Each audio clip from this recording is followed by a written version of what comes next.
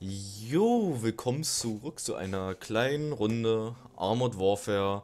Ähm, jo, ihr seht, euch fällt was auf. Willkommen im Update 0.18. Äh, nicht erschrecken, dass ich hier so viel Erfahrung habe, so viel Geld äh, äh, und so viel Gold. Äh, ja, wir sind auf dem PTS-Server von Armored Warfare, auf dem, also ausgesprochen Public Test Server. Der Server sagte schon Test. Äh, ja, in der Version 0.18 mittlerweile, auf dem Live-Server ist ja schon 0.17, allerdings dann noch kein Lords of War, weil es dann noch ein paar kleine Fehler gibt. Ähm, ah, so.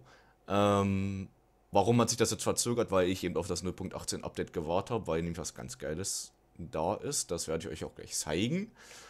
Ähm, ja, wie kommt ihr auf den Public Test Server erst einmal? Ihr startet ganz normal euren my.com Launcher dann auf Spielverzeichnis und dann seht ihr da die ganzen Games von my.com, beziehungsweise Obsidian.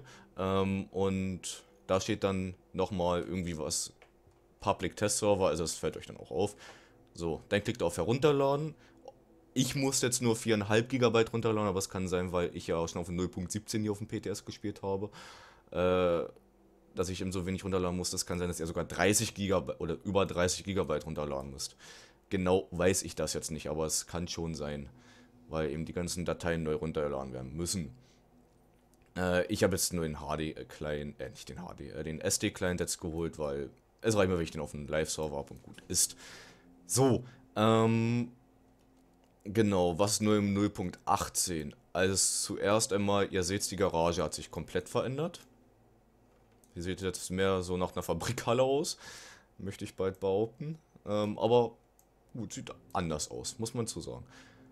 Und was ganz groß in 0.18 dazugekommen ist, ist globale Operation. Da gehen wir jetzt auch gleich rein mit dem T14 Armata, den habe ich voll aufgerüstet und ein bisschen Tarnung draufgehauen. Ähm, da gibt es momentan nur eine Map, aber ja, es hat es in sich, muss ich sagen, globale Operation. Ich möchte es jetzt auch nicht großartig erklären.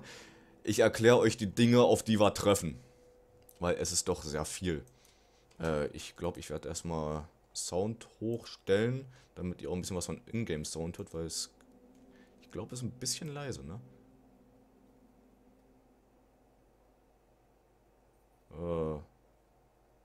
Äh, ja, so denke ich mal, reicht's.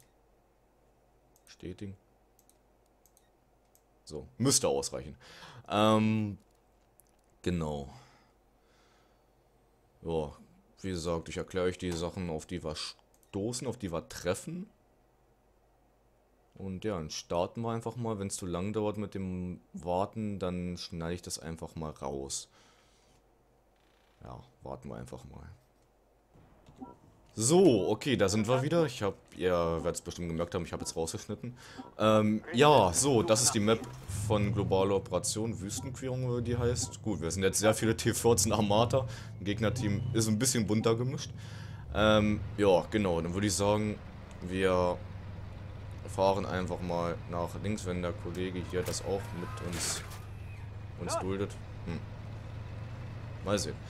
Ähm... Also in der Mitte seht ihr einen Hafen und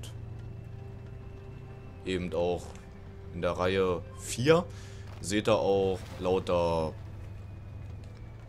Points, die man einnehmen muss. Die, die wechseln auch während des Gefechtes. Und das ist eben eine Mischung aus PvP und PvE. Die gelben Gegner sind immer PvE-Gegner. Und wenn nachher rote Gegner kommen, dann sind das die, die PvP-Gegner, also die richtig menschlichen Gegner. Und dann wird's lustig. Och genau, ein Abpraller. Genau, so siehst du aus. Der uns getroffen. So, weg ist er.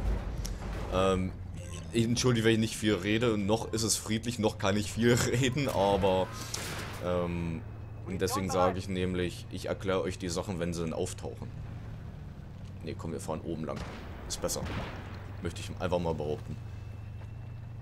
Und bei wem die ersten Punkte, die ihr ganz oben seht, verschwunden sind, das Team hat dann verloren. Also, ja. Weil man bekommt Punkte, man verliert Punkte, das ist... Ja. Lustig. So, jetzt es mal auf den Flugzeugträger rauf. Das finde ich irgendwie lustig. Dass man hier auf das Schiff rauffahren kann. Genau, das hier zum Beispiel ist ein Punkt, den wir jetzt einnehmen müssen. So, komm. Ah, oh. Hoppla.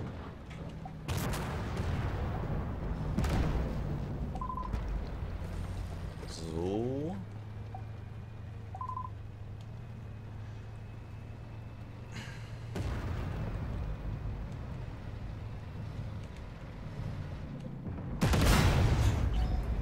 So, da haben wir den eine gegeben, dem XM1. Also momentan hier auf dem PTS-Server sind globale Operationen nur für Tier 10 und... Okay, das waren wir nicht. Äh, nur für Tier 8 bis 10 zur Verfügung. Ich denke mal, auf dem Live-Server werden es auch kleinere Tiers sein. Hoffe ich einfach mal. Aber müsste eigentlich rein theoretisch. Weil es ja doch ein bisschen was ist, wo auch jeder spielen kann. Ne, den kriegen wir jetzt noch nicht. Dafür war unsere Zielzeit zu gering. Na gut, dann helfen wir unserem Kollegen einfach mal mit dem KI-Gegner. Okay, den wird er zwar alleine weiter schaffen. Und da hinten seht ihr so eine komischen Dinger. Da hinten rechts, das sind Raketenwerfer. Die, auf die müssen wir aufpassen. Die müssen wir nachher kaputt machen, wenn wir denen zu nahe kommen. Weil sonst werfen die Raketen auf uns. Und das soll ja so nicht sein. Das wäre dann schlecht. Oh, da ist er irgendwie runtergefallen aus irgendeinem Grund. Irgendwo. Oh, hallo, anderer äh, T14. Da kam man sehr schnell um die Ecke.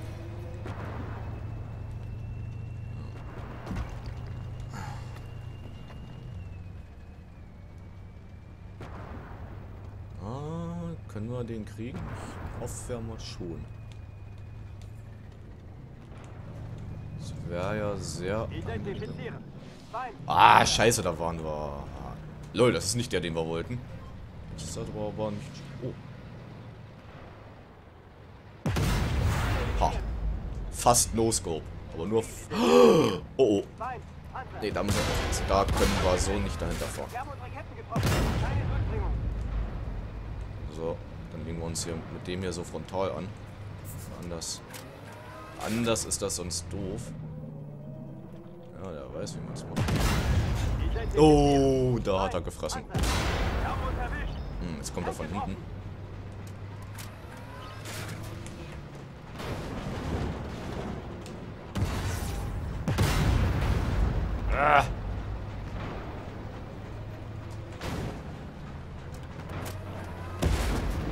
Okay, jetzt sind wir tot, aber wir brauchen jetzt nicht in, ähm, Ding, äh, in die Garage zurück, sondern man kann hier in globale Operation respawnen. So, jetzt können, können wir uns einen aussuchen, nehmen wir mal den mittleren. So, dann müssen wir ein paar Sekunden warten und dann passt es. Und ihr seht ja rechts, äh, da äh, in der Mitte oben die Gegner Die Gegner verlieren kräftig an Punkte, das gefällt uns sehr. Außerdem gibt es ja auch kleine Gimmicks, so eine, wie nennt man die Hotcards? Wild, Wildcards, glaube ich. Äh, das sind zum Beispiel Drohnen, mit denen man ihn spotten kann oder zum Beispiel gibt es ja auch einen Bomber. Da oben seht ihr, das ist einer von unseren Bombern. Jetzt muss man natürlich nur aufpassen, dass die äh, uns nicht abschießen. Äh, dass die Gegner den da oben nicht abschießen. Also können wir besser spotten. Und das ist, das sind diese Silos, die wir von den Gegner am besten zerstören, zerstören sollten. So, dann gibt es noch eins mit einem Bomber. Das ist, glaube ich, der ganz neue Bomber. Einer der ganz neuesten Bomber, die es gibt. Äh, Tarnkappenbomber ist das, glaube ich. Und der wirft dann Bomben. Man kann auch den seine Flugroute bestimmen. Wo er dann auf die Gegner dann die Bomben abwerfen soll. Und ihr seht, jetzt haben sich die, die Cap Points geändert, gerade im Moment.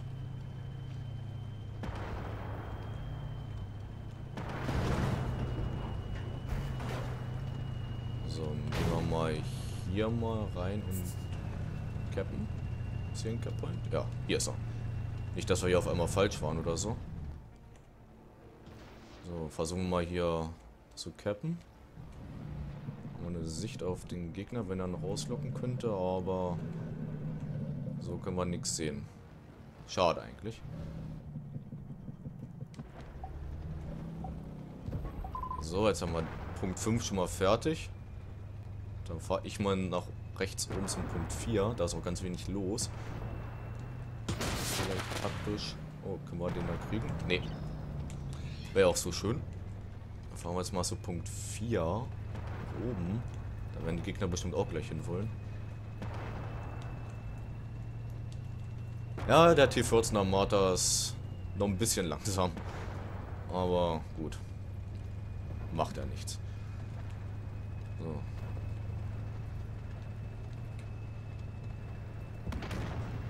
Wir, wo wir uns da vorbeischmuggeln können. Zum Punkt 4. Das wäre ja sehr nett. Oh, ich bin ja spät, ist aber unschön. Es kann natürlich auch sein, dass er von einem Gegner, äh, von einem KI-Gegner. Genau. So, ich hab's doch gewusst, dass da gleich einer hin will. Ich hab's gewusst. Aber gut, wir sind da nicht die Ersten, die da aus unserem Team hin wollen. Auch ist auch nur ein PL01. Das, das geht ja. Das ist ja in Ordnung. Der ist eigentlich ganz annehmbar zu killen. Ja, da vertreiben sie noch schon die anderen. Ja, kommt er hier rum? Ne, der fährt hinter dem Haus da lang. Aber es kann sein, dass er gleich versucht da. So, jetzt haben wir ihn. So. Dann haben wir auch gleich Punkt 4. Wunderbar. Und wir haben kaum an Punkten verloren. Das finde ich sehr nett. So, wo wollen wir jetzt lang fahren? Ja, komm, versuchen wir mal. Fahren wir mal hier links runter und kümmern uns mal um die anderen Gegner wieder. Oh, unsere Drohnen haben sie noch nicht abgeschossen. Das finde ich sehr schön. Ich hoffe, der Ingame-Sound ist laut genug. Dass ich euch den hoch genug gestellt habe. Aber gut. Ah, unsere Drohne hat nur noch 10 Leben. Ah, dann haben sie schon einmal erwischt. Ja, gut. Kann man nichts gegen machen. Ja, seht, es wird langsam sandiger in der Atmosphäre, ne? Und gleich werdet auch... Seht ihr jetzt... Seht ihr, Sandsturm nähert sich auf der Map. Auf dieser Wüstenmap gibt es nämlich einen Sandsturm, der dann auftaucht. Und dann wird's eklig. Jetzt kann es eklig werden. Hallo, Leo. Hoppla. Das war wohl nichts.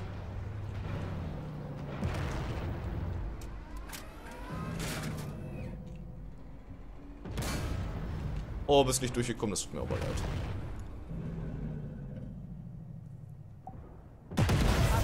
Oh, ich hätte fast gehabt, ne, hab das gesehen. Oh, die nächsten Punkte können eingenommen werden. War mal hier hinten rum. Können wir vielleicht von hinten erwischen. Was gar nicht so verkehrt ist. Oh, da habe ich gerade erschrocken hier vor unserem Kollegen. So, hoffen wir mal, dass unsere bleibt. Was hier? Autsch! Das ist jetzt sehr schlimm. Aber dann den Turm werden wir mal machen. So, vorher noch Raketen auf uns hoch. Ach, puh.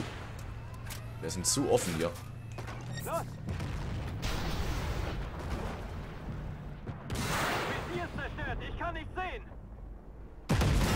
Okay, das kann gleich sein, dass wir gleich tot sind.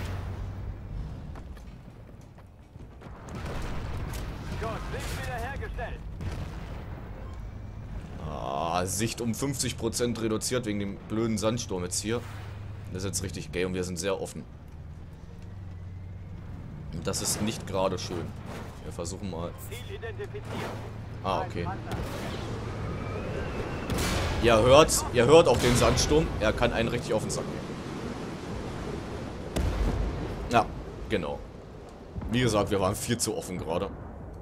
Naja. Aber wir stehen kurz vorm Sieg, also. Ich glaube nicht, dass das unsere Gegner noch rumreißen können, das Ruder. So, jetzt machen wir mal wieder in der Mitte. Mitte ist immer gut.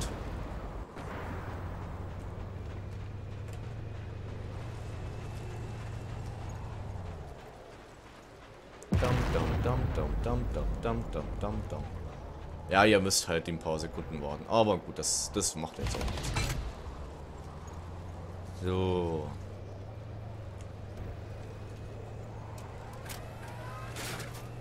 Na, vielleicht sollten wir mal einen Punkt 6 hochfahren.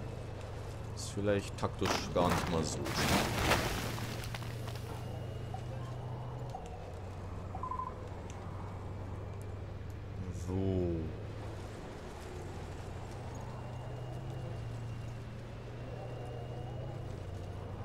Da ist die Gegner. Ach, da unten. Ja, gut, da sind sie auch ein bisschen in der Überzahl.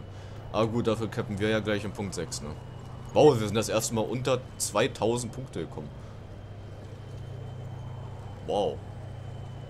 So gut lief es ehrlich gesagt noch nicht, wo ich gespielt habe. Hoppla.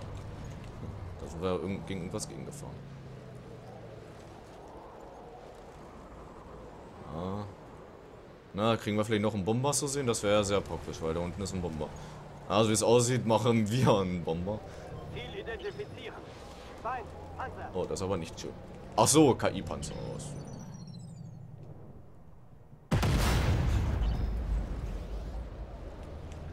Okay, wir werden wohl gleich einen Bomber starten, wie es aussieht.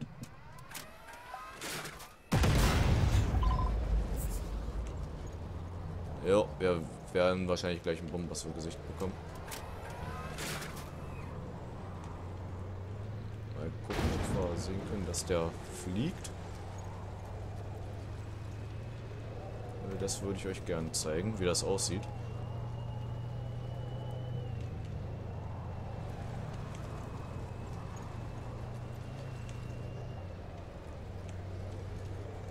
Oder er fliegt doch nicht, das kann doch auch sein. Dass irgendwie abgebrochen wurde. Na gut, wir sind jetzt sowieso am Gewinn. Ne, wir werden den jetzt wohl doch nicht zum Gesicht bekommen. Ne, okay, aber dafür haben wir auch gewonnen. Punktelimit erreicht, wunderbar. Sieg! So, dann gucken wir gleich mal, was wir angerichtet haben in die Auswertung. Auswertung.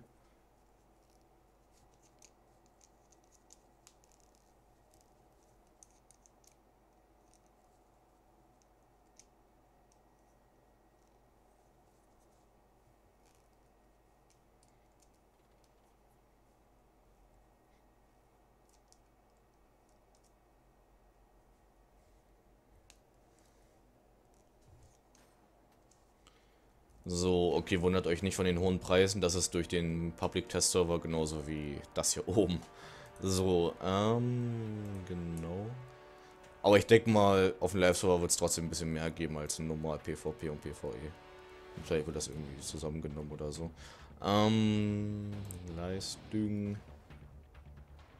Ähm. Okay, zweimal sind wir gestorben. Mm. Oh, wir waren relativ schlecht sogar. okay. Ähm, ja gut, so viel habe ich jetzt globale Operationen auch nicht gespielt, muss ich ehrlich sagen. Ähm, aber, naja gut. Ich denke mal, nächsten, nächstes, das nächste Video wird, denke ich mal, auch wieder hier globale Operationen sein. Dass ich euch ein bisschen was zeige. Oder mal sehen auf dem Live-Server wieder ein bisschen. Werde ich sehen. Ähm, beziehungsweise werdet ihr ja sehen. Und ja, ich hoffe, euch hat es gefallen. Wenn ja, lasst ein Like und ein Abo da und dann bis zum nächsten Mal. Ciao, ciao.